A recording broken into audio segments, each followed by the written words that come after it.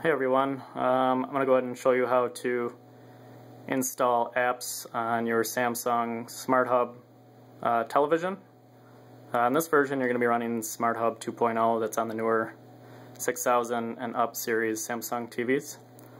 So once you push the Smart Hub button on your remote, uh, it's going to kind of be the multicolored one in the center that says Smart Hub.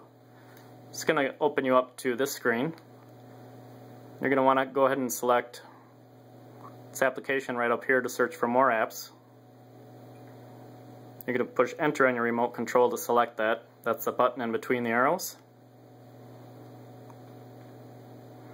Once this loads, you can search for apps.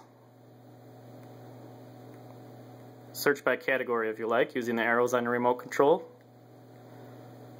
Um, I'm just going to go ahead and pick one that a lot of you may use.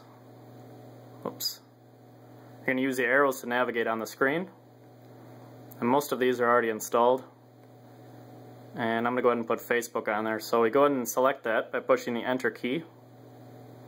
Uh, or the return key, that again, that's going to be in between the arrows on your remote control. So you can read about it if you like here. You want to make sure that download is selected. You can see it goes pretty quick.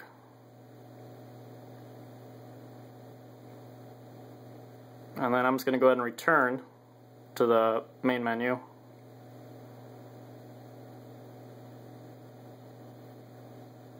Let's go ahead and push return one more time.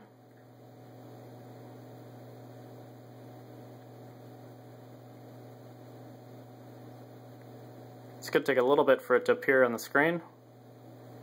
And I've found that sometimes you have to um, reboot the TV or just turn it off and turn it back on to get it to appear.